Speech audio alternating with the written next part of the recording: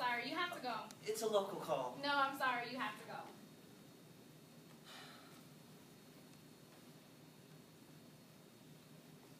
There's the door.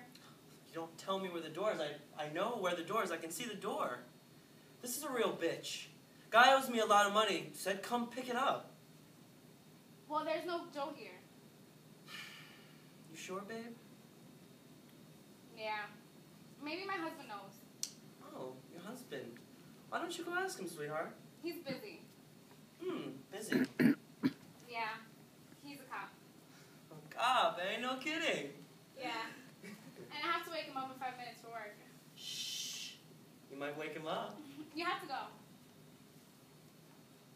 No. I need to see Joe. There's, there's no guy here. A cop, eh? Why don't you go ask him if he knows a guy named Joe? Honey! Come down here, please. Whew, that cop is sure a sound sleeper. Honey! What's the matter? Honey! Just like a cop. Never around when you need him. Honey! Honey, Henny! What's the matter with him? Maybe he's not here. Maybe you're telling me a little lie. Eh, pretty mama? Maybe you think I scare easy. Go ahead. Go for the door. Let's see who's faster. Where are the other two chicks that live here? The kitchen. The Kitchen.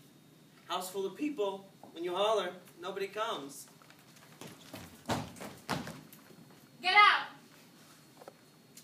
Got a lousy bunch of friends. Get out right now!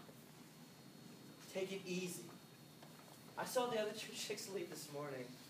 The one with the ratty car